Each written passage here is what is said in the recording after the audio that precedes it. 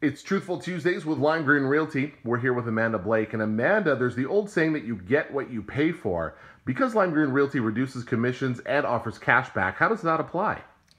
This does not apply to our brokerage. Reducing commissions does not diminish the quality of service we provide here.